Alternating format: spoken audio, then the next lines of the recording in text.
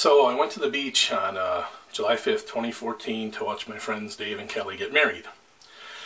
The entire time I was there, well almost the entire time except for maybe 10 minutes, if that, of standing in the, the water, the Pacific Ocean, I was under a canopy. I was always under the canopy, in the shadow, never sat in the sun, and used SPF 100 um, Banana Boat stuff.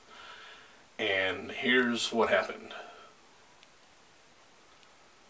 The only place that I was unable to apply it, which is on my scalp, got burned. My entire scalp is burned.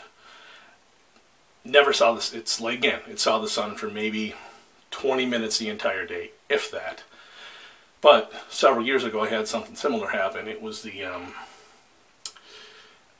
I sat under a canopy for four hours. Yesterday was seven, and I burned bad all over my face and everything. And I never used any sunblock. But the fifth, I used SPF 100 Banana Boat, and that's what my head looks like.